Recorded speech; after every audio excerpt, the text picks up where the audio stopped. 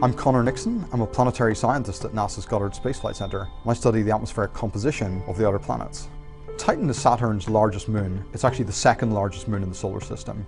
And it's the only moon in the solar system that has a large and substantial atmosphere. And that atmosphere in some respects is really similar to that of the Earth, being composed mainly of nitrogen, but in other respects it's really different. It has methane as its second most abundant gas, and that takes the same role as water vapor in the Earth's atmosphere. It evaporates from the surface, it forms clouds, and then rains down again, and in fact forms lakes that we see at Titan's North Pole, including ethane and propane and all sorts of complex chemicals.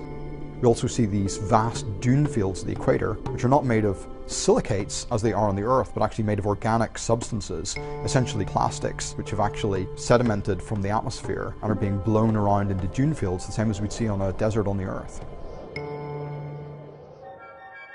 Back in 1980, when Voyager 1 flew by Titan and made the first close encounter with that moon, it discovered many new chemical species in the atmosphere. And a lot of these are what we call hydrocarbons, which are composed of two types of atom, carbon and hydrogen. And these are derived from methane. After the methane is broken apart by sunlight, forms into longer and longer chain molecules. So you can add first two carbons together to make a family of molecules. And you can also form three carbons together to form a heavier family of molecules. So it was actually very mysterious. The Voyager only discovered the heaviest and lightest members of the three carbon family, but it didn't find the middle member of the family, propylene, that was missing. So NASA has this wonderful flagship spacecraft called Cassini, which is currently orbiting Saturn and is making multiple close flybys of Titan.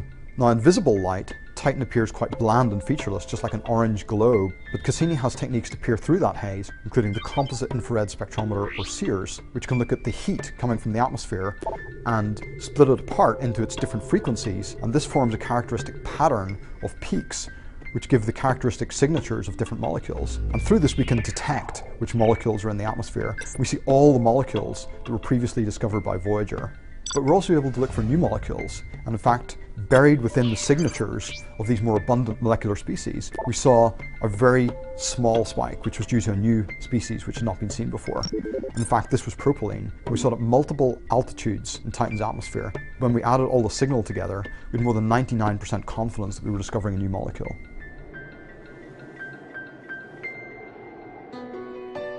So this object I have right here, this is polypropylene.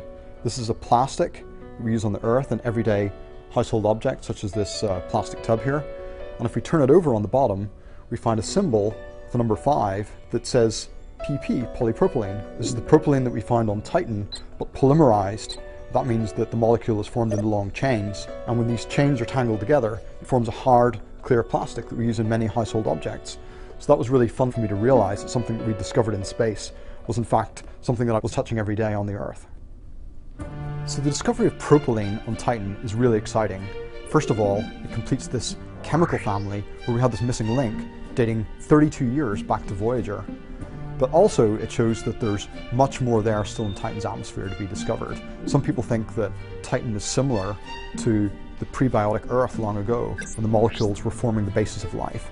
And we don't know what we're going to find on Titan if we send back further spacecraft with new instruments, more sensitive instruments, if some of the molecules on Titan could be similar to the basis of life on Earth.